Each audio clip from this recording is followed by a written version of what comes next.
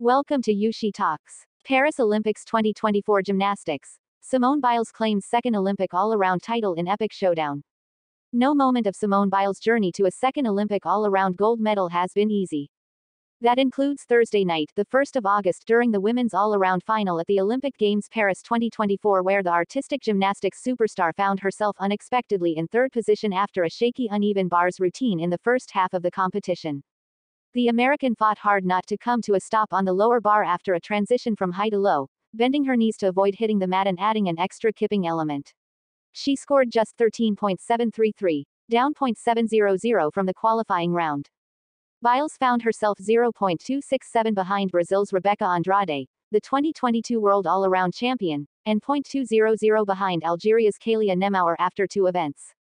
But instead of shrinking from the moment, Biles, as she has so many times, soared, scoring a 14.566 on the balance beam to give herself a slim 0.166 lead heading into the final rotation on the floor exercise.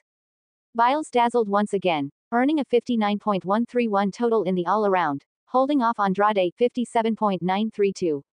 Tokyo 2020 champ Suni Lee finished with the bronze at 56.465. Earlier, she got her competition underway in the first rotation with a booming Yurchenko double pike vault. The vault, named in Biles' honor after she became the first woman to successfully perform it at least year's World Championships in Antwerp, earned a 15.766. Biles has not lost an all-around competition since a friendly competition in early 2013 in Germany. 2012 Olympic team champion Kyla Ross was the champion there. Thank you for listening to me. Bye.